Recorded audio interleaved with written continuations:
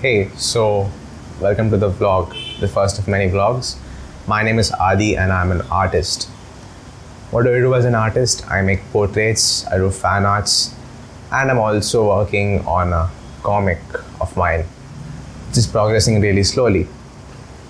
Anyway, why am I documenting this? It's because I have a couple of reasons. Okay, first thing is to share this process, to share this journey of art with you guys. You know, I'm doing new stuff every week, and it's great to record them and show them to you every week. You know, although this vlog is sort of like updates because it's not a daily vlog, it's a weekly vlog. So the end of every week, I'll be like showing you clips, small clips of what I did that week. You know, I tried daily vlogging. I don't think it suits my lifestyle because because I also am a college student and then there's not much to the day because I get five or six hours to five hours of free time apart from college every day. So I've, I've tried daily vlogging, it doesn't work. So instead, what I'm gonna do is record small clips in each week and then put them in the weekly blog when I'm explaining what I did that week and what went on through that week. I think that'll do me better and yeah.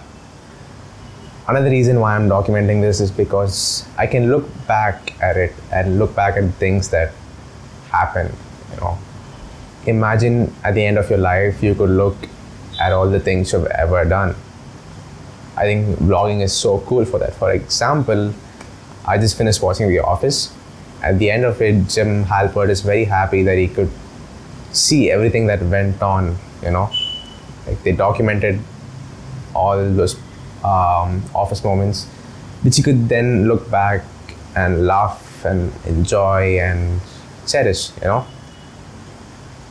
Also, I also credits to Gary Vee for convincing me to document.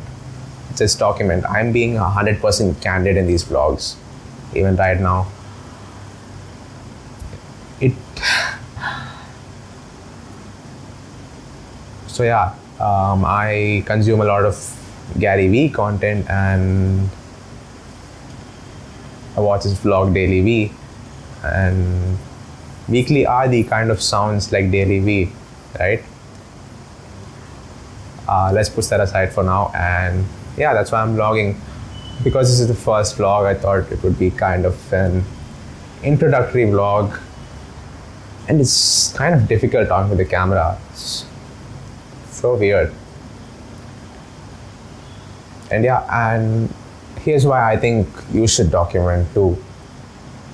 It's because it tells people that you can like do something for example if you're losing weight then you can document that or at least take a photo every day and then share it on the internet.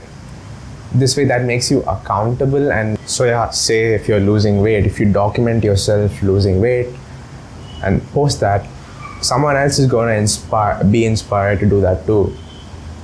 So in that way also i think documenting is amazing apart from that so i'll start with the weekly updates of the previous week.